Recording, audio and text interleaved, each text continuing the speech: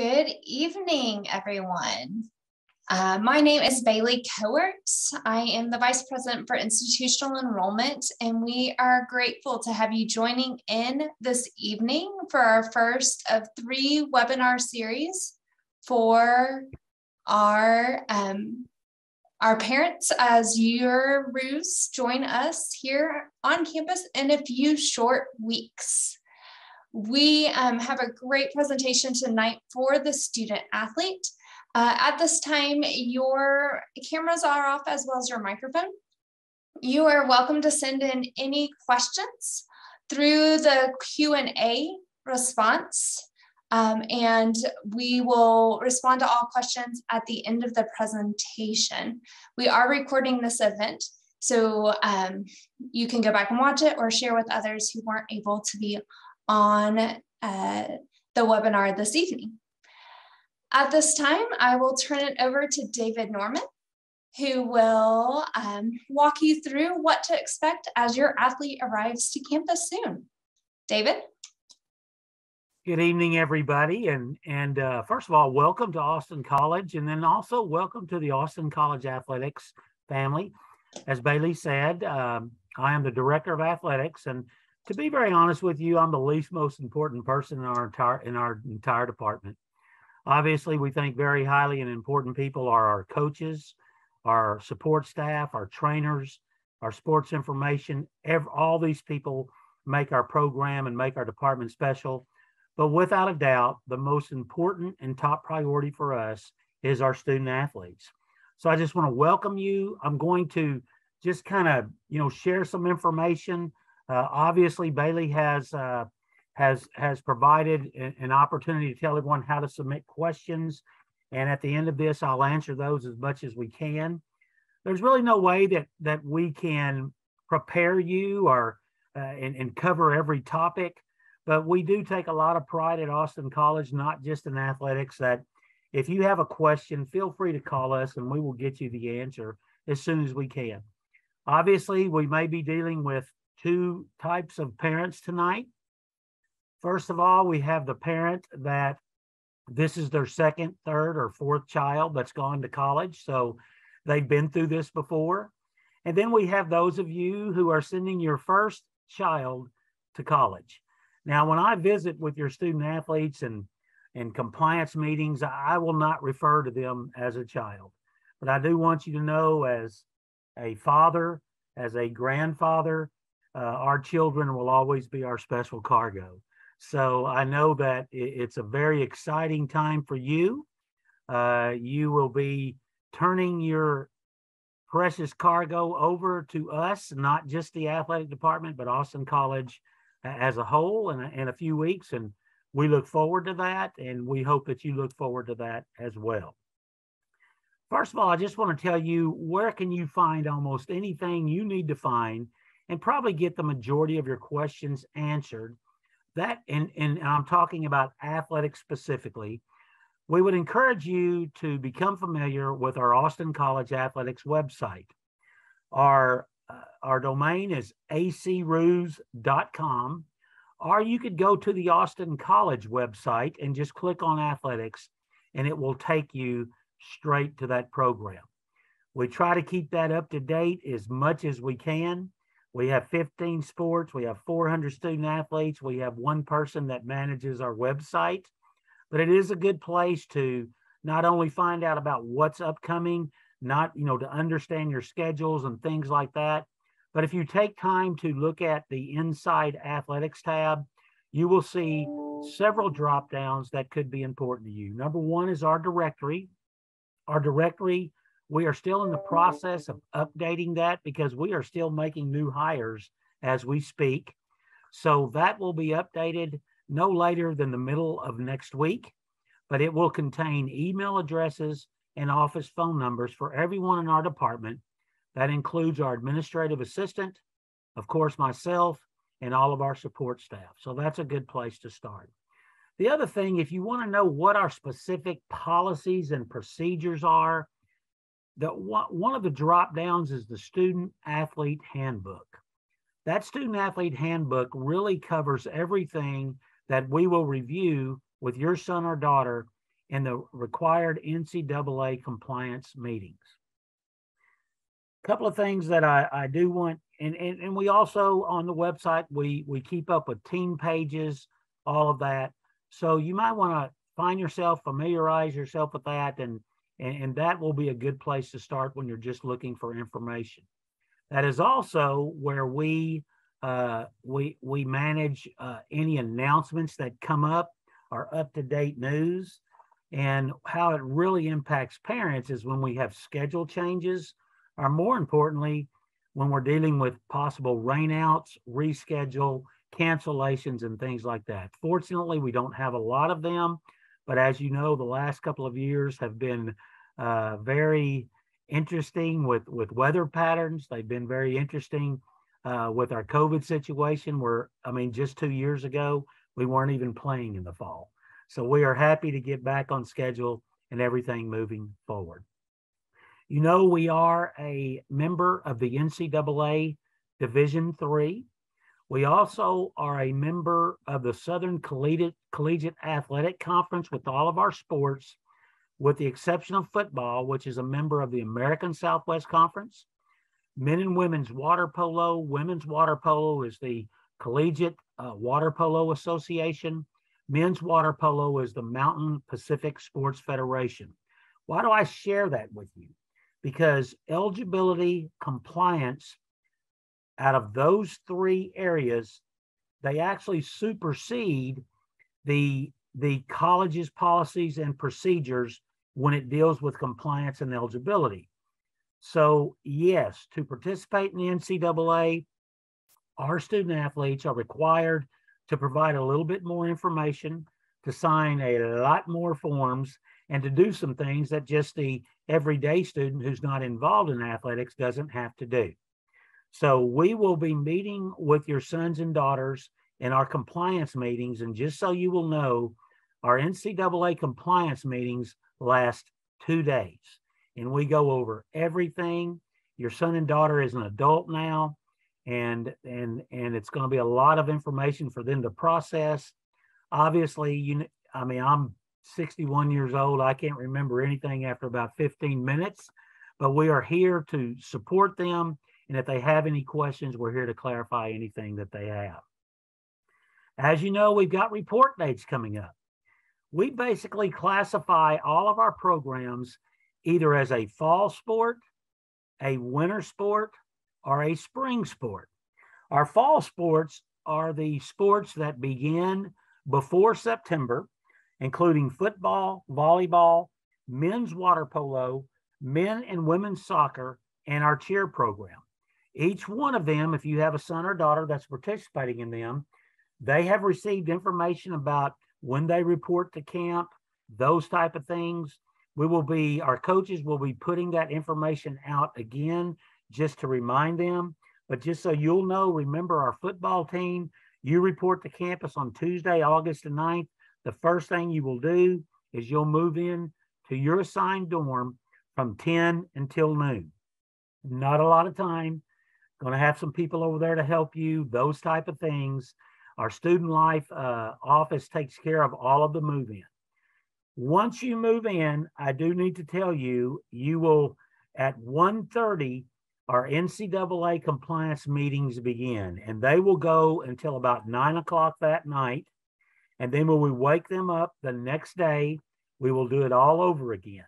So, as a parent, if you're dropping your son off for football, move them into the dorm, we're going to give you a chance if y'all want to go off campus and grab something to eat. But after that, you just have to hug them, turn them over to us, and the, and and and we will take care of them. We promise. The first practice for football is that following Tuesday. So I guess that would be 9th, 10th, 11th, will be uh, be on Thursday the 12th. Our men and women's soccer program, our volleyball program, our men's water polo program, and our cheer you will move into your dorms on Sunday, August the 14th. Move in again is 3 to 5 p.m. And then our NCAA compliance starts at 7 p.m. and it will go all the way until probably 9 or 10 that evening. And then the next day, we will complete that. It will be a day long process. and their first practices will begin August the 16th. For all of our other sports, our basketball programs, our swimming programs, tennis, softball, baseball, women's water polo, you do not need to worry about any early arrival. You should just report to school when you're supposed to with all the other students.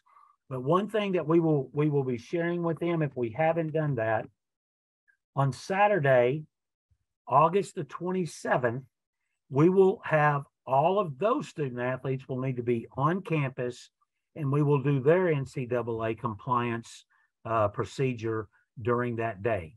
So we will be communicating with all of our, our spring sports and winter sports, informing them to mark off August the 27th.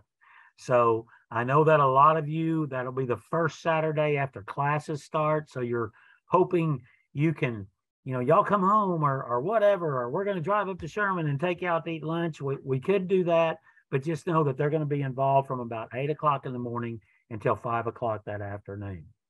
So that takes care of just the compliance issues that we are going to go over. Uh, and and uh, and and and and I, I kind of want to give you an oversight. Excuse me, stammering around, and talk a little bit about the NCAA eligibility we will have approximately 27 forms that each student athlete will have to fill out. A lot of those are mundane. We go over each one of those forms, not sentence by sentence, but we cover the important parts because you know how it is in today's world. A lot of people just like to sign things and sign off on it.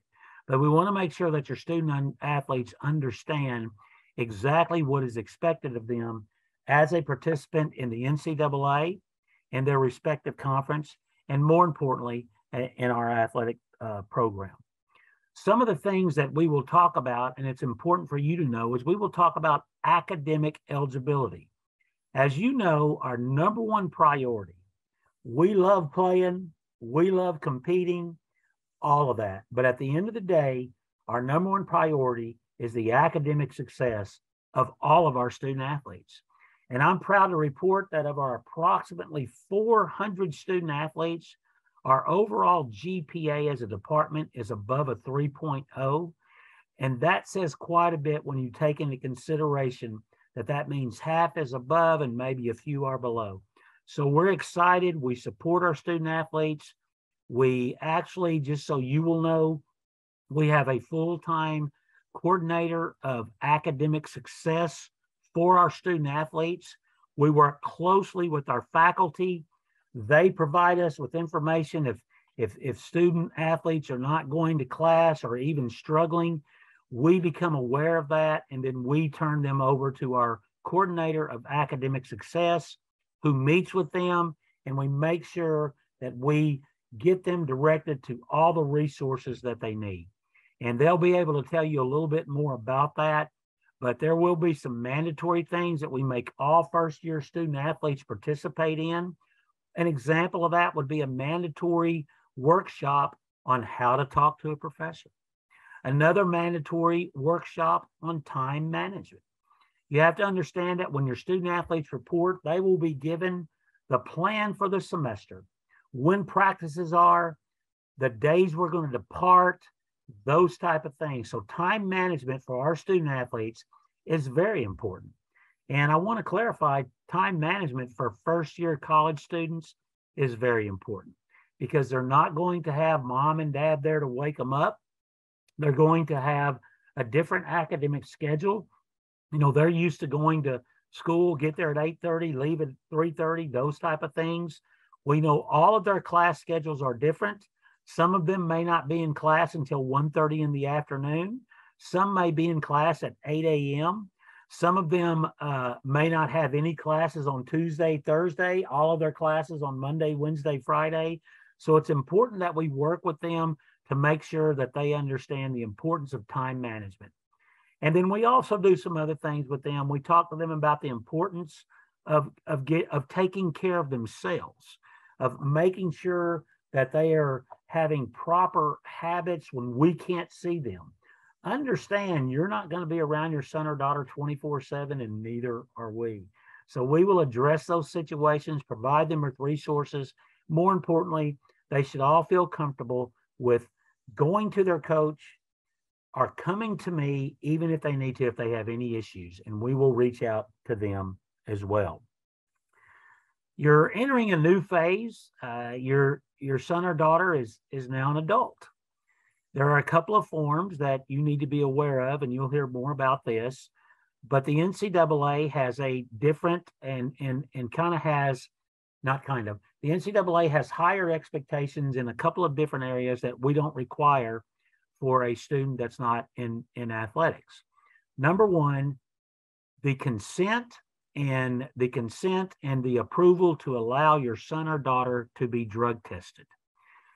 It's a requirement by the NCAA that every student athlete will allow a, a drug test if they are asked to do so.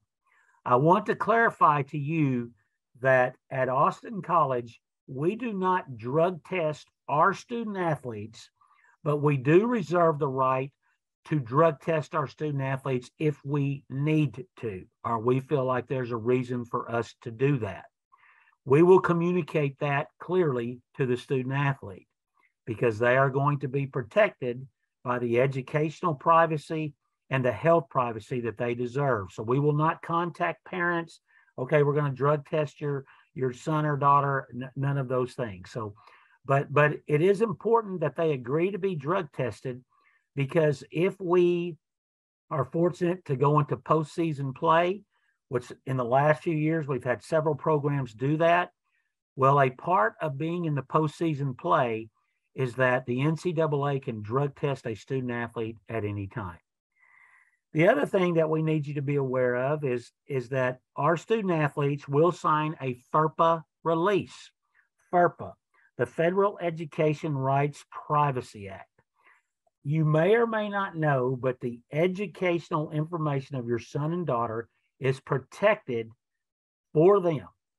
We, if you were to call me or your professor or anything like that and say, hey, I think my son's uh, or my daughter's struggling in class. Can you tell me how they're doing in class and those things? Those are all things that are protected uh, by federal law for our son and daughter, and we for your son and daughter. And we cannot share that, not even with the parent without their permission. But the one FERPA release that they do in the NCAA is they allow us to share their academic information their class schedules, how many hours that they are enrolled in. We that is all protected information. It does not go outside of the NCAA, but we do have to provide that to confirm their eligibility. So just so you will know, we we we protect the privacy of all of our student athletes. You will never see a release from the Austin College Athletics Department that says Tommy or Billy or Susie has been, uh, you know, suspended for the team, or Tommy, Silly, Billy, or Susie won't be playing this week because they're injured, because we just will not share that information. So I wanted you to know that if your son or daughter, and we'll go, we'll go through this with them, they will understand the HIPAA and the FERPA release and how it relates to them, but it is not for public knowledge. Another thing that I want to tell you that's a little bit different your son and daughter is involved in a college athletic program. Uh, we will treat them fairly, but you need to understand not not everyone plays, not everyone travels. You can only play, let's say, football, for instance, 11 at a time. I always share that with you is be, because as parents in our contacts, I want to go into communication with coaches and the athletic director. If there's just general information you need, like when the game time starts or, or things like that, we will gladly answer those. We also want you to feel free to contact one of us if you feel like the safety and welfare of your son and daughter is at is in jeopardy or needs to be addressed, or we need to be aware of that. The one thing we will not entertain, though, is we will not entertain a call from a parent that just wants to talk to a coach or an athletic director about why your son or your daughter isn't playing. They are adults. We will communicate that with them.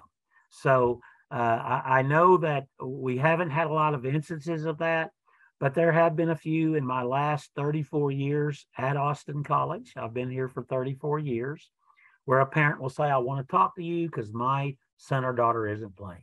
And I just say, we will not have that conversation. We will discuss that with your son or daughter. And again, I can count on one hand in 35 years that that's happened, but it's always good to understand that we will treat your son and daughter as an adult.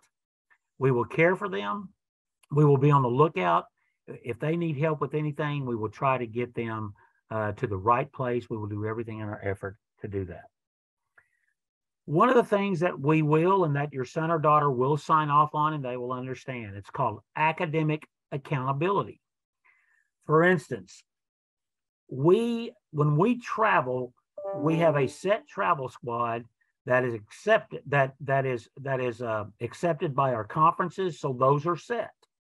When we travel, we put out our travel squad 48 hours prior to departure. It is the responsibility of the student athlete to communicate that to their professors. Athletics at Austin College is a recognized co curricular activity. When we have absences because of travel, those are excused only if the student athlete has communicated that to the professor. And we talk to our student athletes, we will tell them the first day of class, you should go to your professor, tell them you're a member of your respective team, tell them you will have information of when you're going to, when you could possibly be missing class because we want professors to support our student athletes. And I can tell you that our faculty at Austin College is very supportive of our student athletes and what we are doing.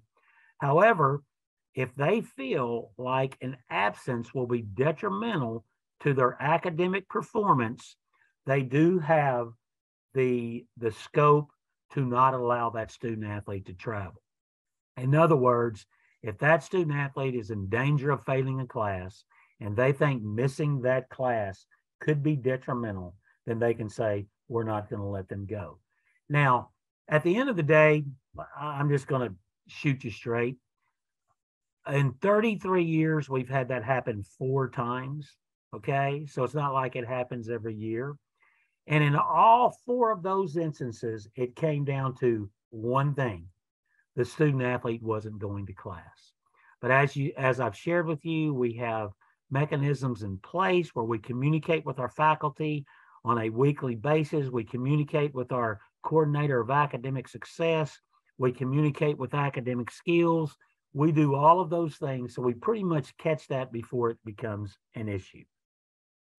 Another thing is our travel in our travel policy that that everyone needs to understand, especially parents. When our team, regardless of their age, when you leave with a team, that is their number one priority. Everything we are responsible for all of our student athletes for the duration of the trip. So our coaches will share more information.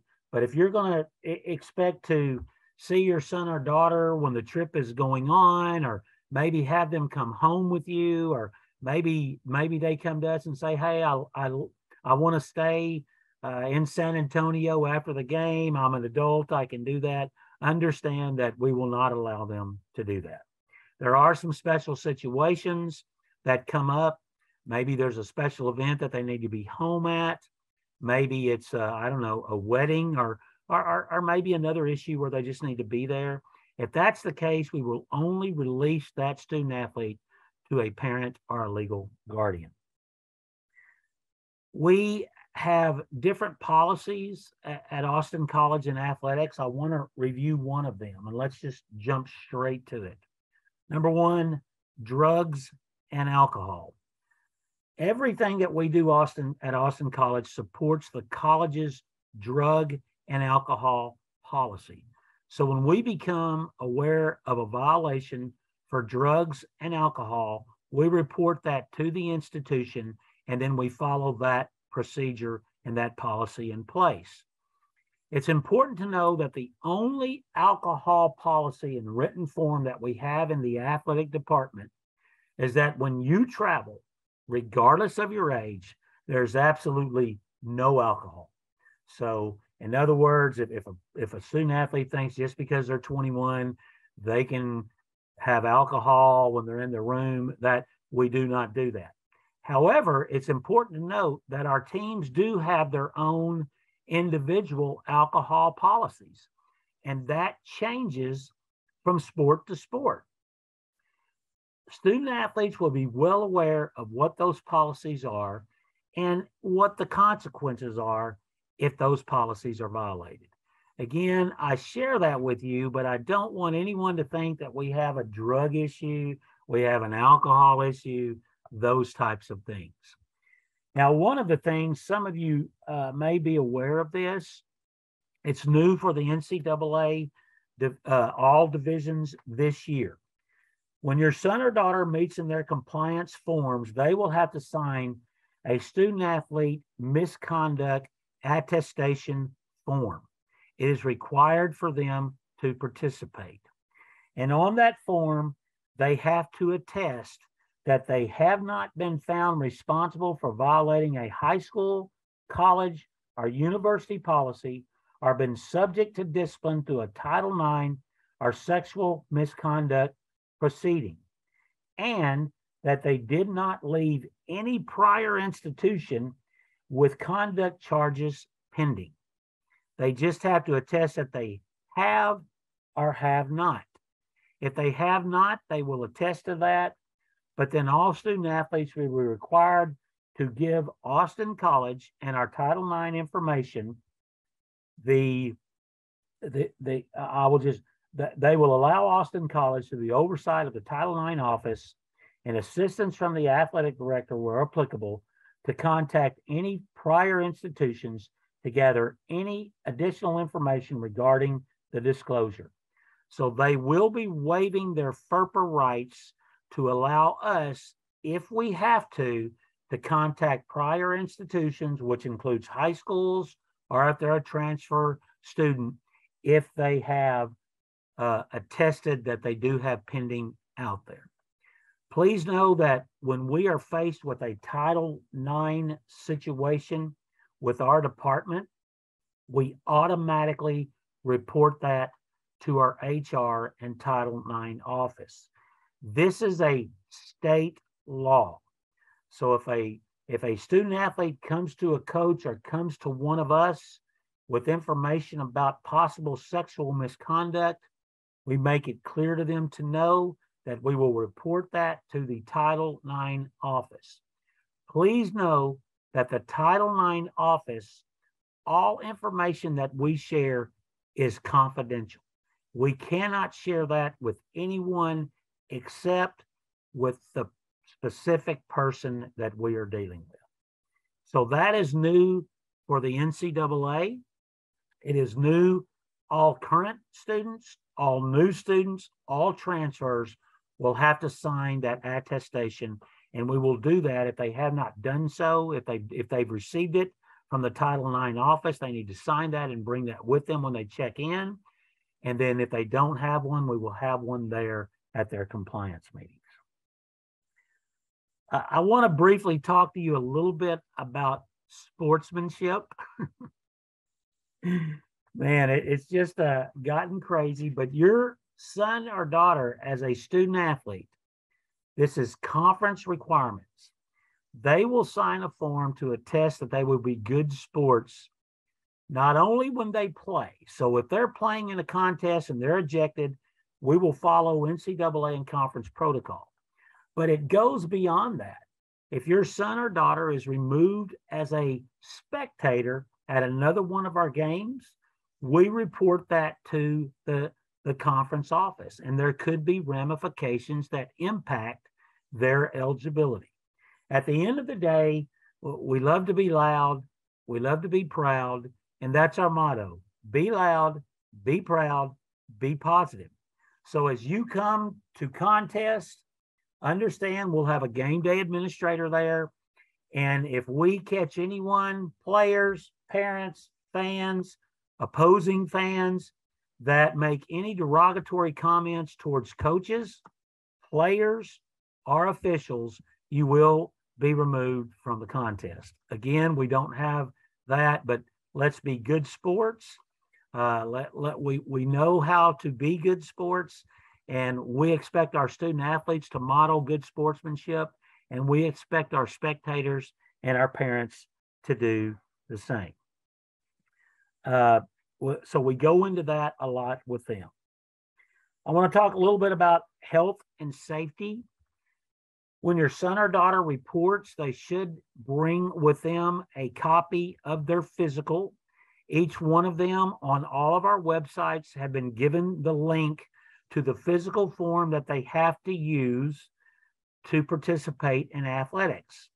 That physical form is different than the physical form of students attending Austin College that aren't participating in athletics.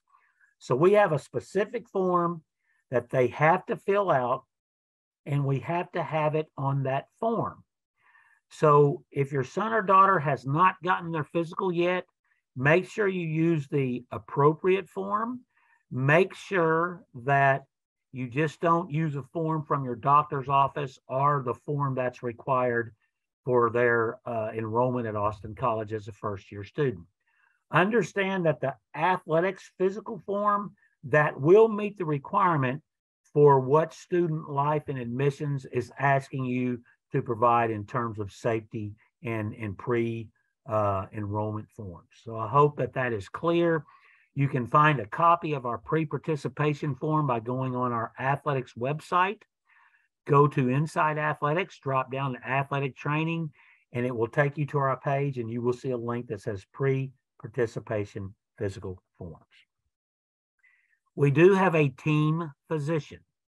Our team physician also serves as our health care administrator for athletics. This is a required position by all NCAA programs. The healthcare administrator is the last say and the ultimate authority on every decision that involves the safety and welfare of a student athlete. That also includes if for some reason your son or daughter has an injury and they are cleared by their individual doctor, our healthcare administrator reserves the right to find out more about that and, and, and they make the final decision on return to play. We do have a certified concussion impact physician that as soon both of our athletic trainers are impact certified. As soon as they have one diagnosis or one symptom of a possible concussion, we turn them over to our impact certified physician and then we begin a return to play protocol with them. We take concussions, we take injuries, very uh, serious is kind of a different word when we're talking about injuries, but we take those and they have our utmost priority. The safety and welfare.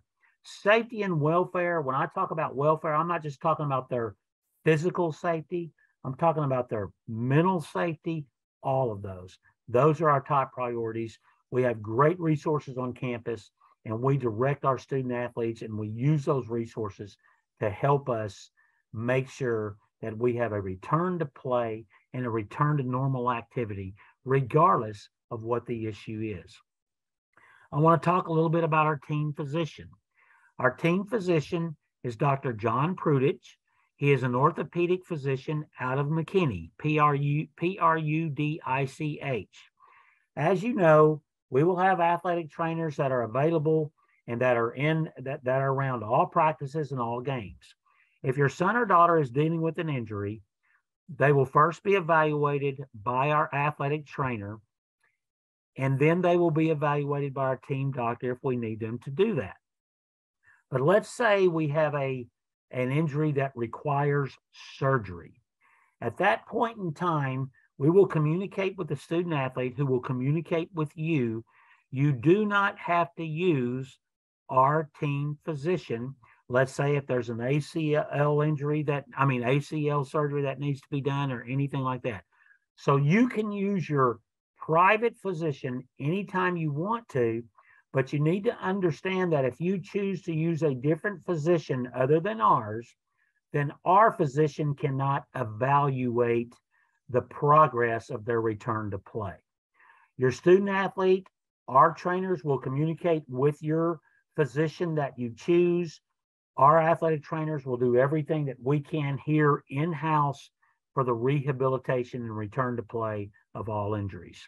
So we will make that clear. But if there's a situation, they may be evaluated first by our team physician. He may say, you know what, you've got a torn ACL. It's going to require surgery. Well, then we turn that over to the student athlete who will communicate with you, and you can decide which route that you want to go. But you are not required to use our team physician for surgeries and things like that. But we will involve you in that because for most cases, you know, you still have a responsibility when we get into insurance and, and things like that. So let's talk about insurance.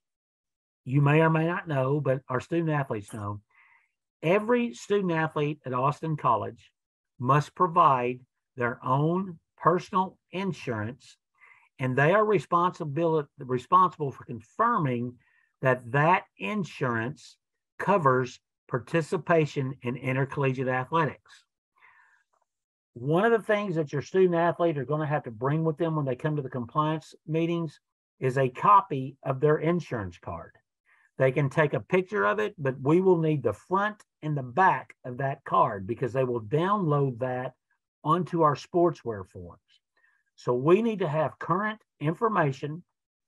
The student athlete is responsible for confirming that it does cover participation in, in athletics. So, you know, you need to make sure if you're responsible for your son or daughter's insurance, you may want to make sure that you can confirm that it does cover participation in intercollegiate athletics. If it does not, then we encourage student athletes to look into our school insurance that they provide for every student for every student. It's called WellFleet. If you know that your son or daughter is going to use the school insurance, we also use WellFleet in athletics. And WellFleet, the school insurance, does cover participation in NCAA athletics. I do want to share with you that we do have a supplemental insurance policy that is in effect for all of our student athletes that sustain an injury that requires uh, physician support. We have a deductible of $2,500. So, what does that mean? Once the parent or the student athlete has fulfilled $2,500, either through their personal insurance or out of their pocket, then it turns over and falls underneath our student athlete supplemental insurance. So, in short, we take over after $2,500 has been met. As you know, some of you have been through this when you're talking about surgery, when you're talking about those types of things, uh, $2,500 doesn't go a long way. But we have an insurance policy that will kick in and cover those expenses once they exceed $2,500. We will be meeting with the student athletes. That's one thing we'll do in those two days. They will understand who the company is, how we file claims, and those type of things. So even though you are responsible for individual insurance that covers intercollegiate athletics, you can rest I, I guess, a little bit easier to know that once it exceeds the $2,500 mark, either out of your pocket or out of your individual insurance's pocket, if it rolls over into our supplemental uh, insurance. And we will communicate with your son or daughter about that component. Uh, I want to talk a little bit uh, about uh, our new student orientation. As you know, whether you're a fall sport that's coming in early or you're a winter sport or a spring sport, that begins on Friday, August the 19th. So those of you that aren't fall sport athletes, you'll be moving your son or daughter, or they'll be coming up here on those dates. However, for our fall sports, you need to understand that the orientation that will take place on Saturday, Sunday, and Monday will take priority over athletic practices.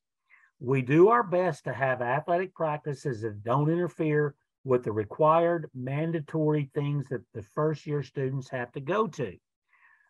but it's just it's it's something that we do. We will make sure your student athletes understand that if we have a practice scheduled during that time, they must go to their required orientation activities.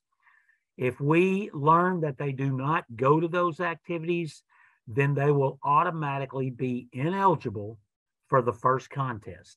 We will work with on that, but if your son or daughter calls you and you're not here for orientation, you know, I think that we're doing a parent thing, but then we're kicking all the parents off campus. You know, we, we need to get the parents out of there and we take over and we start allowing your son or daughter to be a college student. But if we find out that they skip anything, well, then we will handle that internally and it could impact. But if your son or daughter says, hey, you know, I've got this orientation stuff, I think I'm not going to go to it because it's not important, they will know what is required. There are some optional things, but a lot of those are required and we do take enrollment. I mean, we do take attendance at those things. So just know that support your student athletes with that orientation procedure. It won't impact their eligibility. It won't impact their status on the team, and we'll be rocking and rolling. Uh, classes, as you know, start Tuesday, August the 23rd.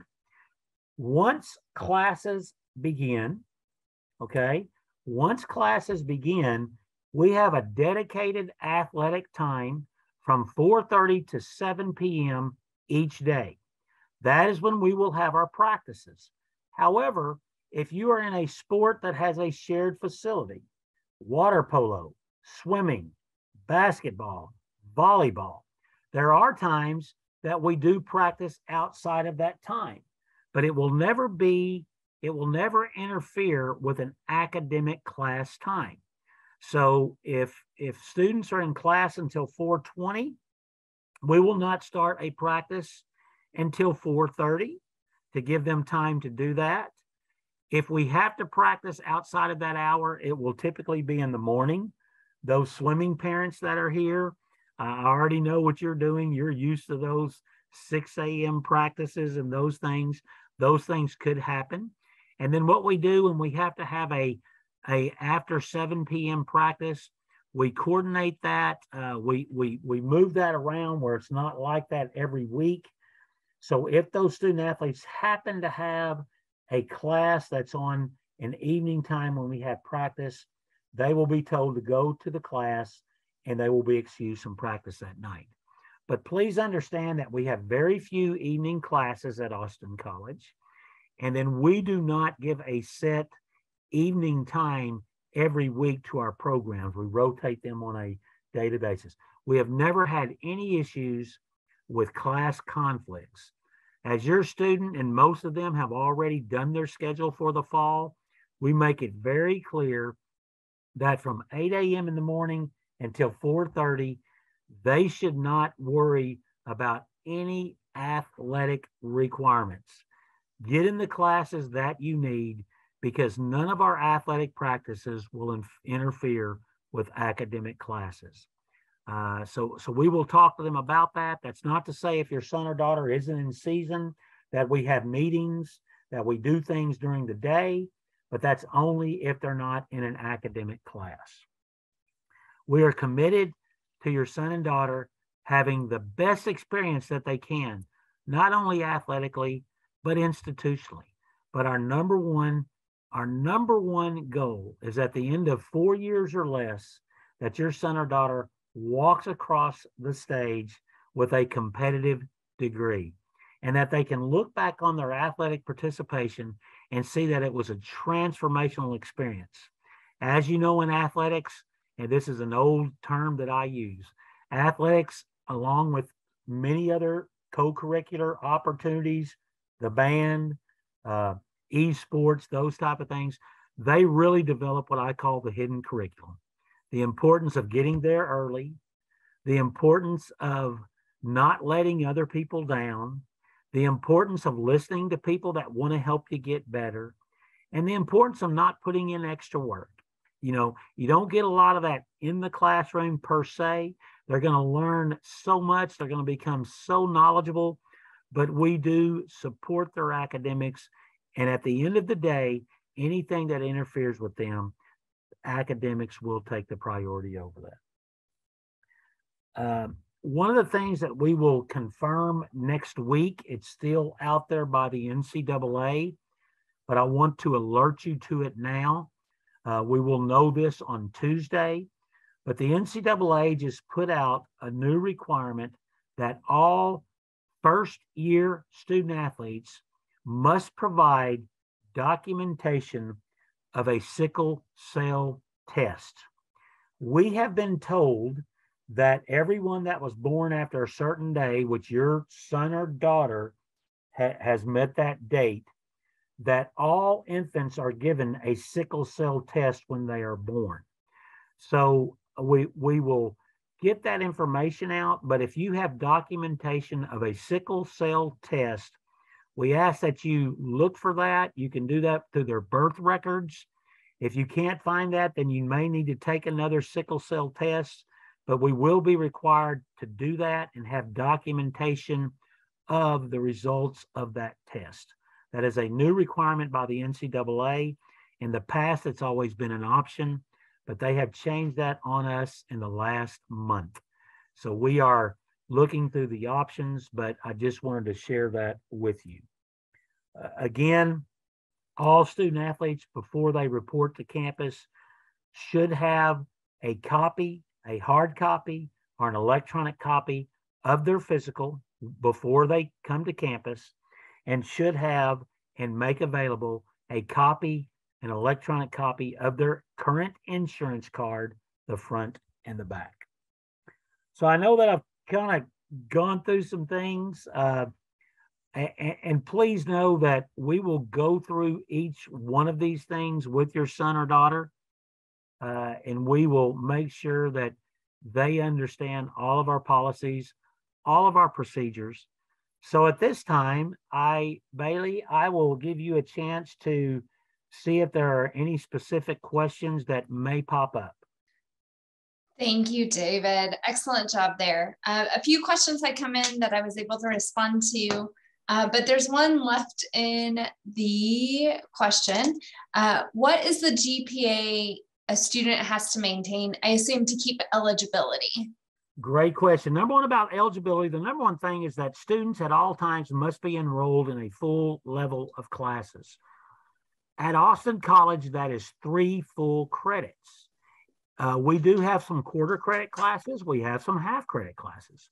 But we tell our student athletes that before they drop a class, communicate with their coach so we can make sure if they drop a class, they will maintain an elig- eligibility. If they drop below three credits, they automatically become ineligible. Now, to expand on that, the first semester, obviously, new students are eligible. After their first semester, they must have a 1.5 GPA to participate their second semester. At the conclusion of their second semester, which is the end of their first year, they must have a 1.7. At the conclusion of their third semester, which is the first semester typically of their sophomore year, they have to have a 1.8. From that point forward, after their third semester, they have to maintain a cumulative GPA of a 2.0. The GPAs are determined only by classes taken at Austin College. So if they fall below that eligibility standard, the only way they can become eligible is to take a course at Austin College that raises that. I'll be so proud to tell you that out of our roughly 150 new student athletes last year, our freshmen, after the first semester, we only had five student athletes that did not meet the GPA requirement of 1.5. And all, all of our student athletes that are returning to Austin College as a second year student, all of them last spring, except one, met their GPA requirement.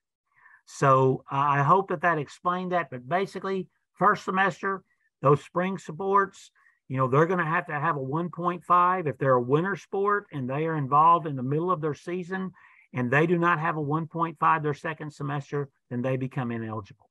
But they need to be at a 2.0 after their third semester, and that will remain until they graduate. We also have long answer. I know no one's going to. We also have to meet satisfactory uh, uh, performance towards a degree, and we follow the Austin College policy as we do with financial aid. So we keep up with how many credits they must have, and we also keep up with their G- GPA. Bailey, I, I apologize for that long answer. The parent that sent that in, I apologize for that, but I just want to be as thorough as I can. No problem. And just to clarify, we were going over their GPA earned while at Austin College. Yes. They start the first semester with with just having to be enrolled. So as long as they're in full-time enrollment, they will be eligible to play our fall sports. That's true. Okay. That's true. Just clarifying that. Yes, uh, thank you. The question came in about needing a TB test. Is TB required for athletics? It is required for Austin College in general. If it's required for Austin College, then it'll be required for athletics. So anything that's required for you to attend Austin College, that just falls into the athletic component. So uh, the TB test, yes, that, that you have to provide that, then that will cover that. We will not require that past the first year.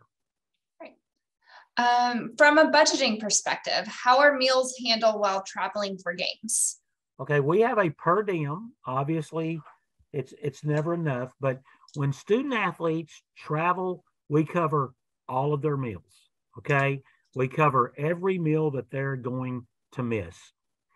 If we, for some reason, and this will happen like in fall camp, your student athletes will, all of their meals will be paid for up until the day before classes start. We will have basketball, tennis. We will have breaks that we require student athletes to stay here. We will never charge you more for them to stay in their dorm room and we will provide a per diem or we will provide their meals for them.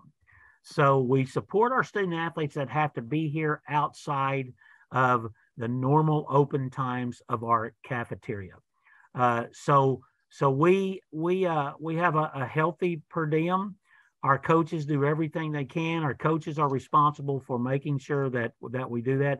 I, I don't want anyone to think that when we're on the road we eat uh, we eat at steak every night. No, we we we eat a good meal, but also please know that when we're getting ready to come home, we want to get the quickest meal we can. So a lot of times that may be a Chick Fil A box, that may be a pizza, that may be all of that. If a student athlete makes a, makes us aware of dietary concerns, our dietary issues, we we do everything we can to accommodate that. And just to confirm, when the when our students get here, our dining halls open and we have um, breakfast hours, lunch hours, and dinner hours for all of our early arrivals. And yes. then the dining hall opens for continuous dining starting on uh, Friday of move-in day, that August 19th. And the other thing, Bailey, that I'll add there, yep. once th- that is when the meal plan starts. Okay. So most first year students are on a meal plan, so that meal plan will start and get them through the first day of classes. Uh, and then if there's any student athlete that may not be on a meal plan, we will cover their cost of meals through Sunday evening. But then after that, the meals are on their own, just like they typically would be if they're going to class every day. But that usually doesn't come into effect with our new students because all of them are on meal plans, as I understand it. Right. Uh, the question, um, will the presence of a sickle cell trait prevent a student from participating in athletics? I, am going to talk to our uh, trainer about that. So I am going to tell you that the answer is no. Okay. What the sickle cell test does, it helps us identify anyone who may be in that situation where we can support them and be aware of the issues related to that. But a positive sickle cell test does not mean they cannot compete. Right. That was our final question. Give it just a minute more in case somebody's feverishly typing over there to get their question in. And then Bailey, I'm going to make one outreach. Sure. If if any parents, you know, I know how this works. We hang up, you go, man, I wish I would have asked this. I wish I would have asked that. If it's something like that, and I will get back to you. A lot of times I don't get to my email until 10 o'clock at night. But if it's a question like that, feel free to email myself, David Norman. It's on the directory, dnorman at austincollege.edu. You know, hey, I was on the presentation the other night. We had this question. Or email your email the coach that you can find on our directory as well. Great. I, that was going to be my plug too. Oh, and someone oh. did. Um, what is the form the kids have to fill out for us to get sports and academic info? Let's see, let's say they get hurt at a game. Are we going to get notification which hospital are they going to? Yeah, yeah. In terms of, of that, we, we listen, and and we probably have attorneys on the call. We probably have doctors on call. But at the end of the day, we we are going to let parents know about that. So what we will do is each one of your parents will, I mean, each one of your sons or daughters and that those compliance issues will fill out emergency contact. If you are on that emergency contact, then we will contact you to let you know, hey, we've taken your son or daughter to the hospital, or we've taken your son, you know what I'm saying? So so they if they give us an emergency contact, which they will fill out when they're there, then we do make sure that that the parents are aware. That even means if we have to take them to the hospital, I don't know, heat exhaustion, concussion, all of those things. We do tell student athletes, depending on depending on the the the uh, the capacity that they're in, we will tell them, hey, we're here. Call your parents and tell them what's going on. But if they are incapacitated, we will make sure that we get that information to you. But we do need that information on their emergency contact list. Uh, so, let me let me expand yeah. on that just sure. real quickly. You know, at the end of the day, what what the where we get really sticky is if we're at a game, okay, your son or your daughter gets injured we don't need the parents coming on the field or we don't need the parents charging us what's wrong what's that? you know what i'm saying let us do our job we will meet with that student athlete uh, at that time. We will meet with uh, the student athlete after the fact and you will be given the information that you need to know. But uh, if you happen we will not invite a, a parent on the field. We will not invite a parent to come in and while the doctor is evaluating them. But if you're there, we will let you know. It's a very anxious time, but at the end of the day, we're going to do everything I can we can to keep you informed, and we will let you know, especially if it's important, like your son or daughter's in the hospital, your son or daughter has this type of injury. Great. Uh, it's come in um, a few times. So just to reiterate, uh, the pre-participation health physical form is available at acroos dot com slash information slash training.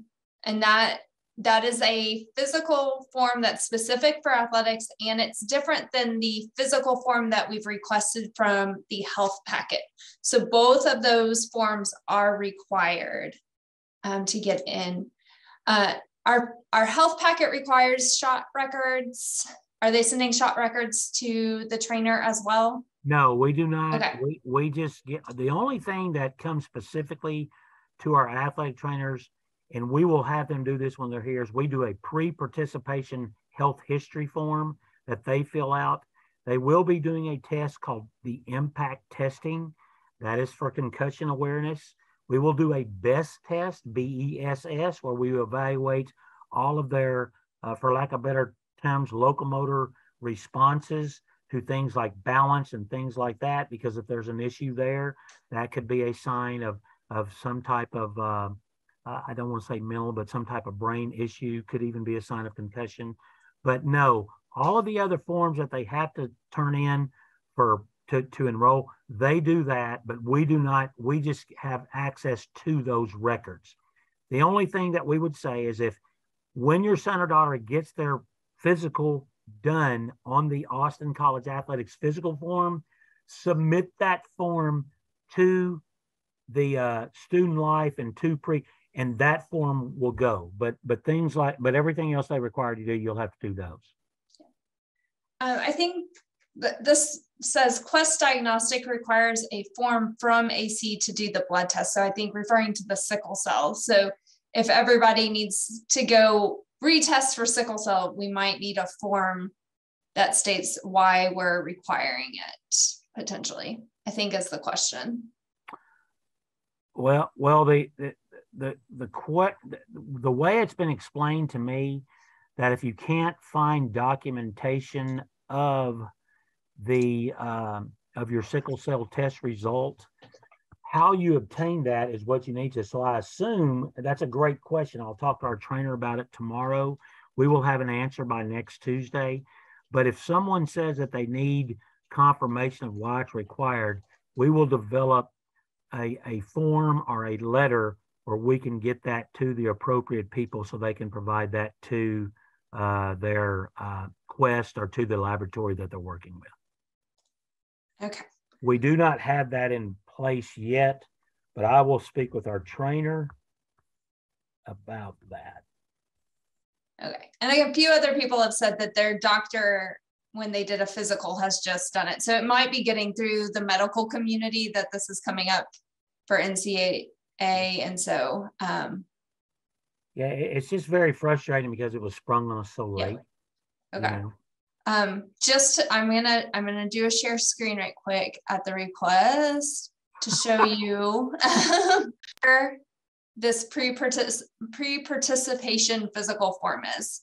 Um, so acroos.com information training, and here's the pre-participation physical form link that then opens for you to download. And hopefully everybody can see that. Um, so that that's the difference from that.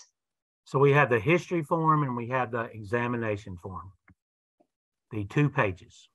So. Okay. And again, we understand there are a lot of forms that are coming your way. So please, um, if you have questions, again, reach out um, to the athletics department. They're there to assist you. And just to reiterate as well, those are the only two things that pre-participation stuff that you said, that's all you need to fill out. All the other forms that may be listed, we will fill those out during our NCAA compliance. Okay. All right. I think that takes care of questions. That takes us also to the top of the hour, just past it. Thank you for everyone joining this evening. I know David is counting down the days to see your student athletes here. Everyone on campus is excited for this new class coming in. Uh, we are reachable uh, Monday through Thursday uh, for the next two weeks, and then we'll be back to full schedules Monday through Friday after the uh, starting the second week of August. Y'all have a lovely evening and reach out if you have any further questions. Go Roos!